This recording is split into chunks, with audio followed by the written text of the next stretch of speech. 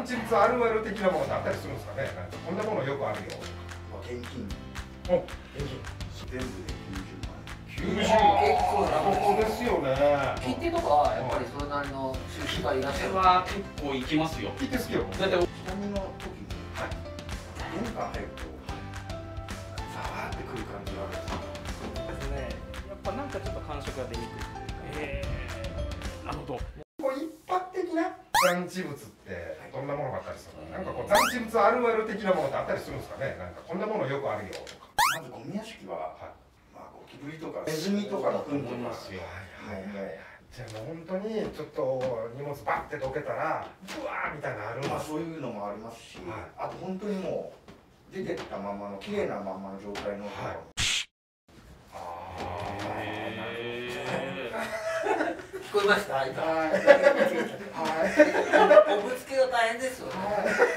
出てきたまんまですから。あ動物は嫌だなそれをどのタイミングで残したんでしょうねそうっすよね。どのタイミングでコアさんがこの仕事だって思ったのかも今だわ そのタイミングじゃないから絶対。違うわなね絶対そこじゃないです。結構いろんなもの出てくるんで結構高価なものとかもあ出ますね。あります。あります例えばどんなものが？最近ですと、はい。まあ、現金。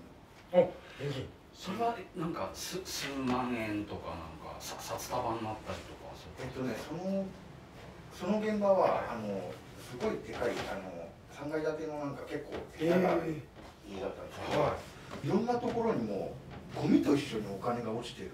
はあなるほはいはいはいはい。で各部屋掃除するじゃないですか、はい綺麗にあの物とかしたりする、はい。そのたびに出てきて全部で90万。90結構なここですよね。で台所の食器に混ざってるあったのが、はあの古いロレックスアンティークのロレックス。わあわあわあそれ一撃で高いんじゃないですか、古いロレックスだったら。あと天皇の記念のコインとか。ああ年代物のなんか高価なね。えー、でもなんか懐入れてしまいそうになるな。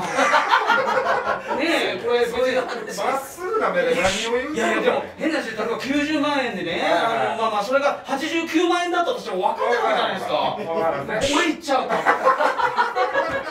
ちなみにお金以外でなんかこう珍しいものというかあったりしましたうん。位牌とかあるともう。それは正直。あー。そうですよね。なるほど。仏壇系はやっぱあのうまいですね気遣いますよ。はい。あなんかあんまり無限に扱ってもよくないですよね。ねえ。ひな人形とか。あお人形もそうカルト人形とか。ああいうのはもうさ最後にあの片付けるように最初はもういじんないようにしてて。ああなるほどね。罰当たったりするの嫌じゃないですか。そうですね。まあ、そうすごく大事にされてたものでしょうし、ね。ね、人形は特に念が入るって言いますからね。山口さんありました？なんかこう一緒に行ってみてこううわ危なかったなとか。怖かったなとか。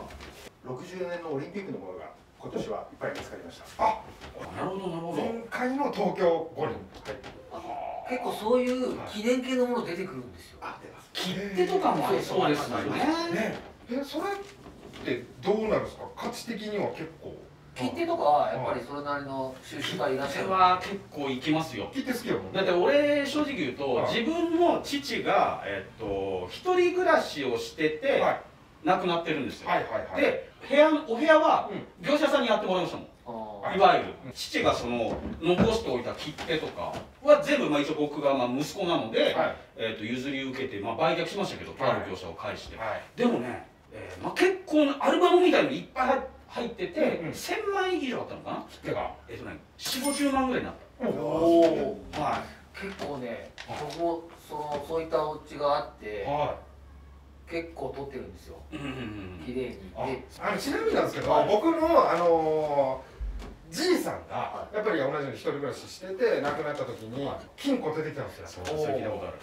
これぐらいの金庫だったんですけど。でもう鍵もなくてでも開けれなくて同じように業者読んだんですね、で中から出てきたものはやっぱり、あのー少しの現金とうん。あとなんかこう行ったお店料理屋さんとかのあの割り箸の袋 大量に。あえー？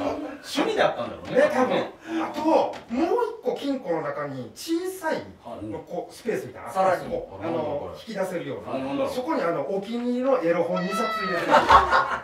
まさかの大事だったんだろうね。僕の親父ね、うん。自分の親父が隠し持ってたエロ本を見たわけなんでそうですねあのー、ちょっと僕らねオカルトチャンネルをやらせていただいてるんで、はい。なんかこう残地物こう処理った時になんかこう霊的な心霊現象みたいなのって興味あるんですけど。あら。下見の時にはい。なんか玄関入るとはい。ザーってくる感じがあるんですよ。まずはなんか霊感というかそういうの感じたりする。あそうなんです。今話してたあのはい。東京のはい。現場はい。なんかそうでしたやっぱそうでしたか感じましたやっぱり。感じまし頭痛がねはい。したっていう。で自分の連れもはいはい。そいつ霊感全然ないんですけどはい急に涙出して。え？行くたびにですよ。決まった回数までいくと。え決まった回数に行く？決まったとあの回数。チェーンソーがあったら。確実にダメでしょ分かってない怖っそだんなしい出来事が絶対あったよ。いやししてるとかじゃないよね。ヘラヘラして言うな。失礼さん霊感みたいなのあったりするないです。なさそう。なさ弾きそう飛ばしそう。強そう。入ったわ武士みたいね自分昔住んでたあの部屋なんですけど、はい。あの信じるかわかんないですけど、はい。あれ般若っているじゃないですか。はい。はい。はい。あれ自分2日連続上に乗ってきました。よお面のあああれが自分ベッドに寝てたんですけどはいそれ2時前だったんですけど、はい最初部屋の中がバチバチ音鳴ったんですよほなんか嫌だなと思っうはいて急にズカーンって乗ってきて体の上にはいあの本本物のあの般若がもう完全に夢じゃなくもう般若だと髪の毛も全部もうベッドの下まで床までうわううわわうわうわで片目しか開かないんですよはい母さんが。もう怖くて。はでその顔がこうやって近づいてきてい。は気絶しちゃってい。は起きたらもう昼でした。いうん。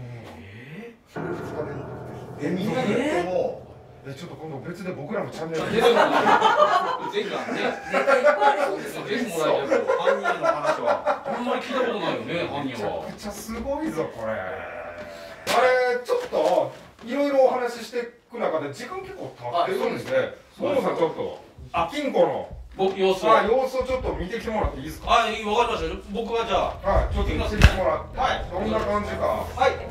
ちょっとカメラマンさんと一緒に見てきてください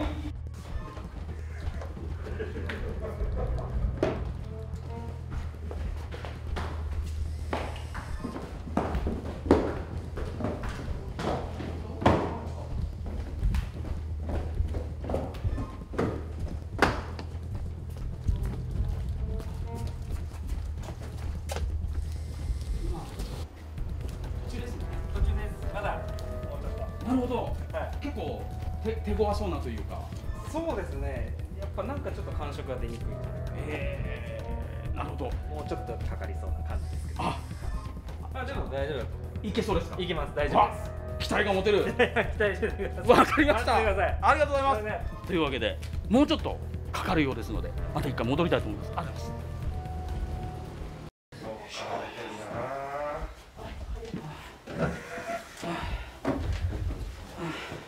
ごめんなさいえどうでした曽根さん結構慌ててました？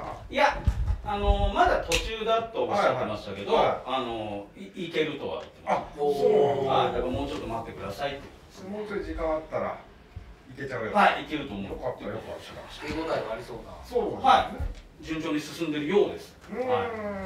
なるほどね。あ生命の危機みたいなのありました？玄関の方に落ちちゃっ。てうわあのアウチなかなか、ね、想定してないこともできるし。そうだね。